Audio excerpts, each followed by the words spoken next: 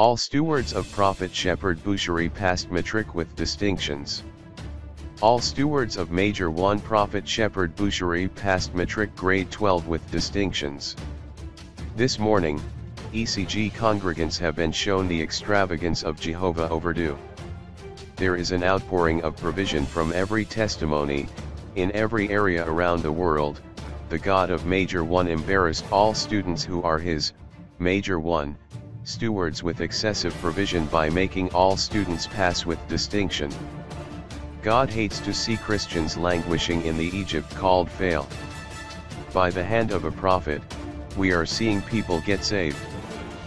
Parents are breathing easy, students are experiencing a personalized open heaven, God is moving around, tearing down walls and putting up a defense that only a major can execute.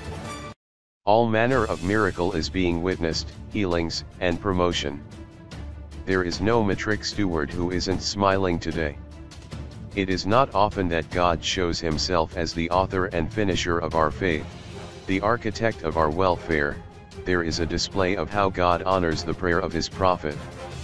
From students, Major 1 switched gears to employees and there is no stone that is left unturned.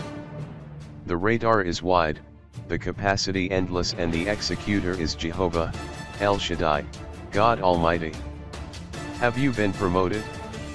Did you get your baby? Is your marriage restored?